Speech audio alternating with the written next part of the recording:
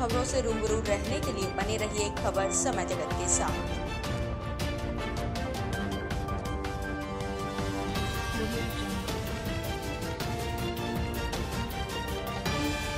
देश और दुनिया की तमाम खबरों से रूबरू रहने के लिए बने रहिए खबर समय जगत के साथ।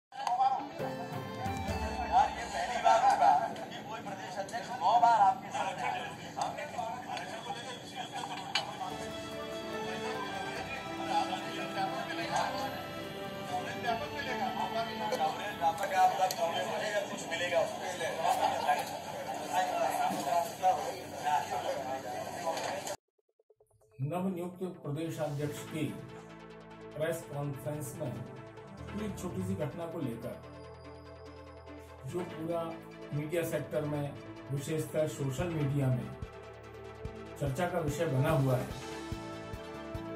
यह मुझे लगता है कि विषय उतना महत्वपूर्ण नहीं है जितनी उसकी चर्चा की जा रही है मीडिया की जवाबदेही सिर्फ़ राजनीतिक क्षेत्र नहीं समाज जीवन के विभिन्न आयामों में विभिन्न सृजनात्मक रचनात्मक विधाओं को आलोकित करना भी बड़ी जवाबदारी और एक ऐसा विषय जिसका कोई बहुत ज़्यादा सार्थक अर्थ भी स्पष्ट नहीं है, उस पर इतना उस विषय को खींचना कहीं ना कहीं मीडिया की प्रमाणिकता को प्रभावित करता है। हालाँकि यह बात भी सही है कि राजनीतिक क्षेत्र में प्रभावी संगठन, जो भी सरकार में है उसके शीर्ष पद पर, संगठन के शीर्ष पद पर बैठने वाले जिम्मेदार पदाधिकारी की ये जवाबदारी भी बनती है कि वह थोड़ा सा पद की गरिमानी रूप शालीनता और संतुलन भी रखे।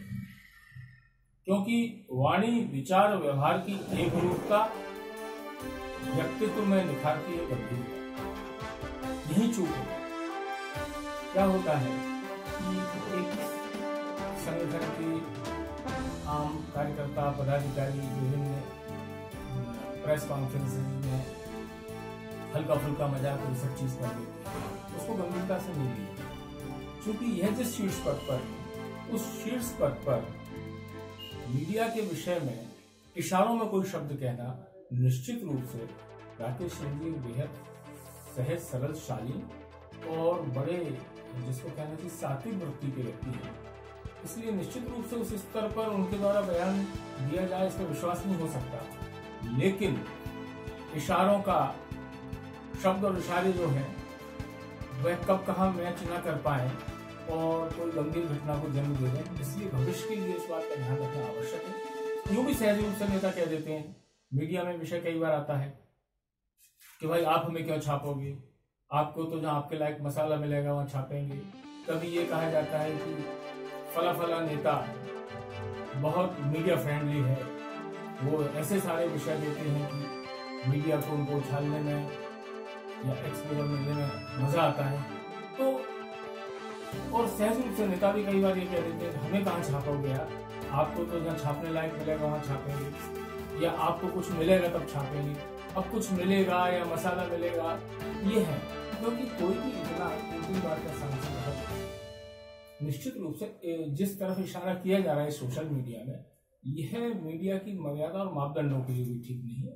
लेकिन फिर भी कहना चाहूँगा कि राजनीतिक क्षेत्र में गंभीरतम पदों पर बैठे हुए व्यक्तियों को वाणी, विचार, व्यवहार, नीति, नियत निगाह इस पर ध्यान रखना चाहिए।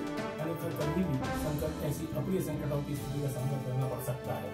लेकिन मीडिया को इसको बहुत ज़्यादा चर्चा का विषय बनाने के बजाय विराम देना चाहिए, क्योंकि तो समाज के विभिन्न क्षेत्रों में मीडिया की भूमिका की आवश्यकता है।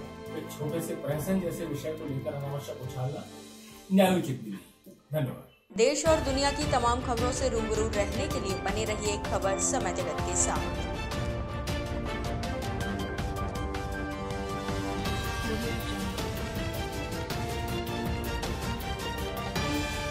देश और दुनिया की तमाम खबरों से रूबरू रहने के लिए बने रहिए खबर समय